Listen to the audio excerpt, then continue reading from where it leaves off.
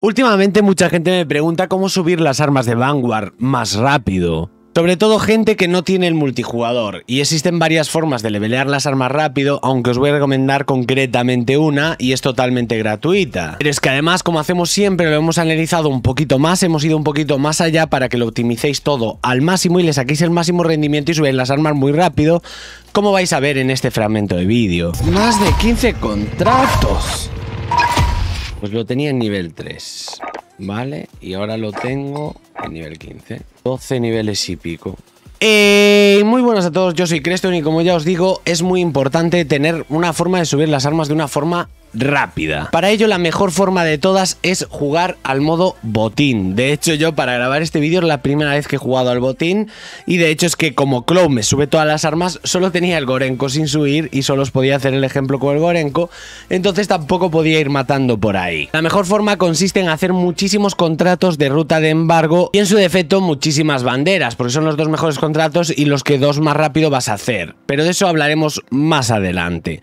Lo primero de todo es en las ventajas el perk de puntero. A la hora de la verdad, cada contrato te va a dar 500 de experiencia y cuando consigas un número de contratos vas a tener un bursteo, vas a generar más experiencia por contrato. Por eso, cuantos más contratos des hecho en una sola partida, aunque se te tuerza un poquito, no es bueno salir porque tienes ese bursteo que hace que subas muchísimo más rápido de nivel. Concretamente, en lo que hemos testeado Chloe y yo hoy, se da subido un nivel por cada minuto, menos en los niveles iniciales del arma. Pero teniendo en cuenta que existen otros factores para burstear aún más esa experiencia, calculo que será mantenido este nivel por minuto durante todo el arma. Como ya sabréis muchas veces, Warzone nos da lotes gratis. Dentro de esos lotes gratis tenéis las fichas de experiencia que estáis viendo ahora en pantalla. Las fichas de experiencia doble en armas son muy clave para que tú subas más rápido todavía el arma. Tú pones esa ficha una horita, te juegas dos o tres botines y le subes 30, 40, 50 niveles a ese arma. Así que debemos de tener en cuenta la ventaja puntero, las fichas de experiencia y los puntos dobles que nos dan muchos fines de semana para poder subir las armas. Concretamente, este fin de semana que viene no, pero dentro de dos fines de semana, realmente tengamos otra vez un fin de semana de dobles puntos de experiencia. Es por ello que yo subo este vídeo hoy, porque ahora viene una nueva temporada y aparte de los que necesitéis subir las armas de Vanguard ya también se vienen tres armas nuevas de las cuales seguramente una esté rota y queráis levelear rápido y la mejor forma es esta botín a contratos tener fichas de experiencia llevar la ventaja puntero aprovechar los fines de semana de experiencia doble y además una serie de requisitos a la hora de jugar a hacer estos contratos. Para mí es muy relevante el hecho de no subir las armas solo por eso lo he grabado con Clow a la hora de hacer los contratos, la forma más efectiva es estar dos, tres o incluso cuatro jugadores porque todos vais a recibir el mismo bursteo de experiencia prioritario que cojáis vehículos y más prioritario aún si ese vehículo es un helicóptero porque para hacer las rutas de embargo hay que cubrir distancias serias de 400 o 500 metros y con vehículos de otro tipo en caldera todo se complica. También me he dado de cuenta de que al coger el helicóptero debería de explicar un pequeño tip, sobre todo para los que jugamos en teclado. Cuando tú coges un helicóptero sueles tener la dificultad de bajar rápido ese helicóptero, mientras que un jugador de mando o demás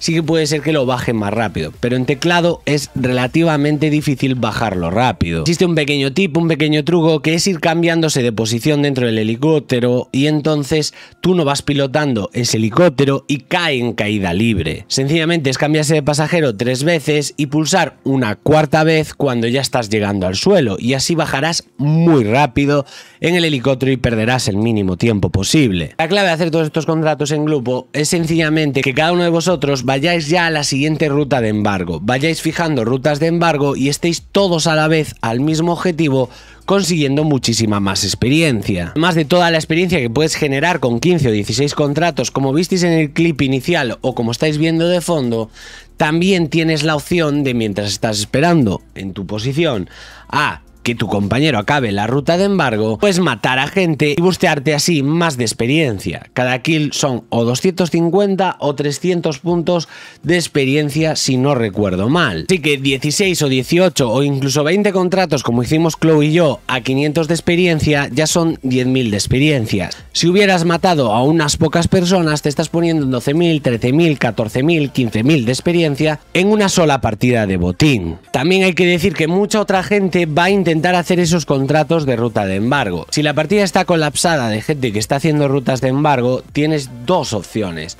La primera es salirte y meterte en otra partida, que yo no la recomiendo mucho porque también es muy divertido hacer banderas. Las banderas tienen una ventaja extra ante las rutas de embargo. No sé si lo habéis analizado nunca, pero si tú te fijas, las banderas pueden llegar a spawnear 5, 6 o 7 banderas en una misma área. Pero es que además el spawn de una bandera, es decir, el spawn de donde tú tienes que ir a asegurar, normalmente está entre los 100 o 150 metros.